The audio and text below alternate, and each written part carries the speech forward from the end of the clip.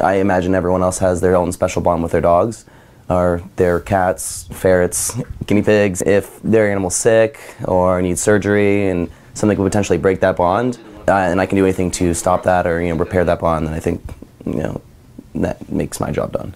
I love animals so much, and I love science. It's kind of like a no-brainer that I want to do you know my vet studies.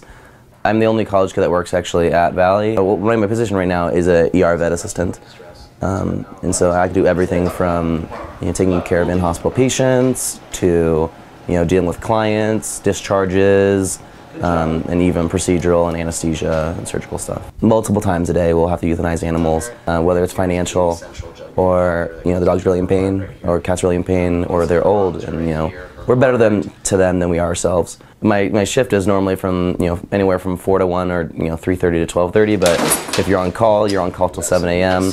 Or if it's you know twelve thirty and you're trying to leave, an emergency comes in, you're not leaving until that emergency's done. And I love it. I actually like love the environment. They're amazing there. Everyone there knows you know I'm there for my vet studies and that I'm like intending to be you know a doctor. I took 22 units uh, each semester last year, my junior year, and I got a 4 up both times.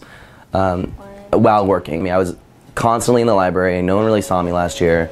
Um, it really does take a toll on your social life, but I mean, you all make sacrifices. It sounds really stupid, uh, but like one of my favorite things is like just like a, a, note from a client and saying, you know, thank you for you know taking care of Spot or Lucky or whoever it is. Just knowing that someone really cares.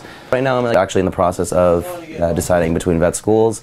I finished applying. Assuming I do get in, then that'll it's a four-year process. It's four years of a lot more studying, and I couldn't imagine doing anything else.